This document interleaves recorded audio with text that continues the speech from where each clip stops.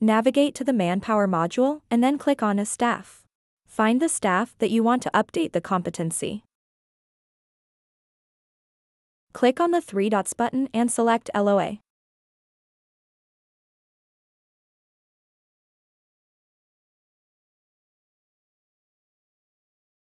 Click on the plus button to start adding a new LOA. Fill in all required fields. Ensure project, title of appointment, and other fields is fill in.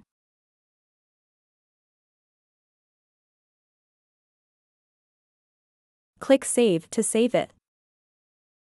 Now the LOA ready to be accepted and approved.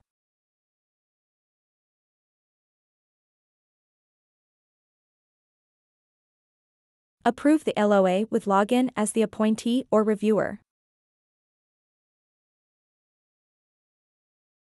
Go to Staff's LOA. Click the three dots button and click Review slash Sign. Do sign for acceptance.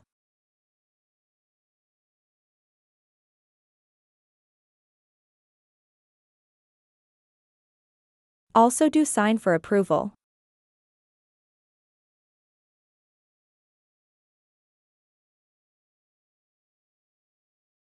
Congratulations, your staff's LOA has been accepted and approved.